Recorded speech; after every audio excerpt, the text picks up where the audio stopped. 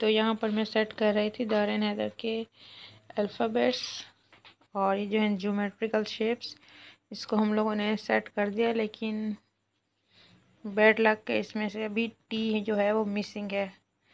उसको भी हम लोग इन सुबह सर्च करके इसमें लगाएँगे। बच्चे जो है आपको पता है जब खेलते हैं तो वो बहुत मैस क्रिएट कर देते हैं।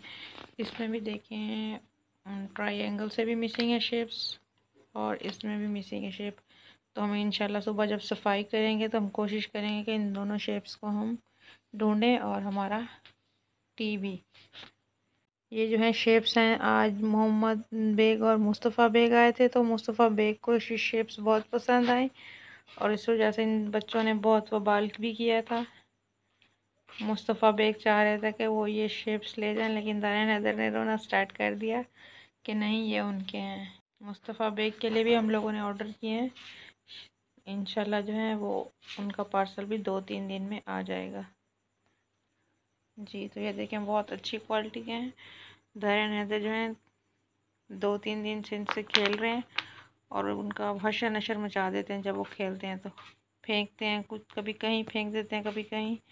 डेली इनको सेट करके रखना पड़ता है ताकि वो सुबह उठ के इनके साथ खेल सकें और थोड़ी उनकी लर्निंग भी इम्प्रूव हो। लेकिन ये अच्छी क्वालिटी के हैं। बिल्कुल भी ख़राब नहीं हो रहे या जिस तरह इनके एजेस जो हैं, ये भी बहुत सॉफ्ट हैं।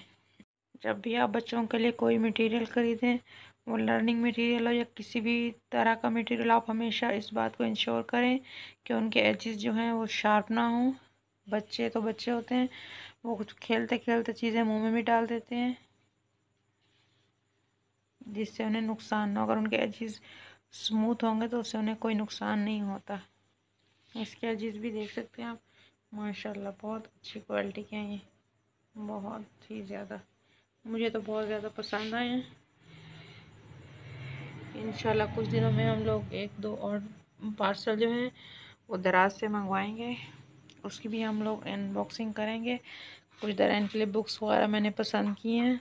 तो इन जैसे ही हम लोग वो ऑर्डर करेंगे और वो हमारे पास पार्सल आएगा तो हम लोग उसकी अनबॉक्सिंग भी आपसे लाजमी शेयर करेंगे। उम्मीद है कि वो भी आपको बहुत पसंद आएँगी।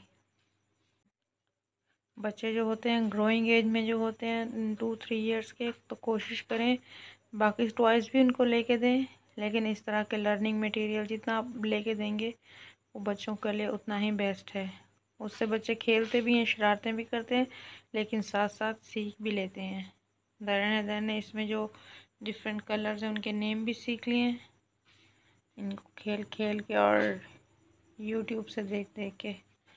शेप्स के नेम तो उन्हें भी नहीं आते, लेकिन कलर्स वगैरह उन्हें पता है कि कौन कौन से हैं। और आप कोशिश करें कि जब भी आप किसी छोटे बच्चे की बर्थडे पे जाएँ, जैसे थ्री फोर फाइव इयर्स के होते हैं, उन्हें बाकी टॉय से बेस्ट है कि आप उन्हें ऐसे एजुकेशन और लर्निंग मटेरियल दें। ऐसे गिफ्ट जी तो हमें बताइएगा कि आपको ये लर्निंग मटेरियल और इससे रिलेटेड थोड़ी बहुत इन्फॉर्मेशन जो थी, वो कैसी लगी? उम्मीद है कि आपको पसंद आई होगी। हमारी कोशिश। के अलावा जो है, वो आप सजेशन भी दीजिएगा, कौन से लर्निंग मटेरियल हैं, या कह सकें कि आइटम्स हैं, जो हम अपने बच्चे के लिए परचेज़ कर सकते हैं। तारा हैदर जो है, वो माशाल्लाह ढाई साल से ऊपर के हैं। और इन ट्वेंटी फाइव फेब को वो तीन साल के हो जाएँगे। तो उसके अकॉर्डिंग ये आप हमें वगैरह देख सकते हैं कि हमें और कौन कौन से मटेरियल जो हैं वो मंगवाने चाहिए, जिससे बच्चे की लर्निंग इम्प्रूव हो।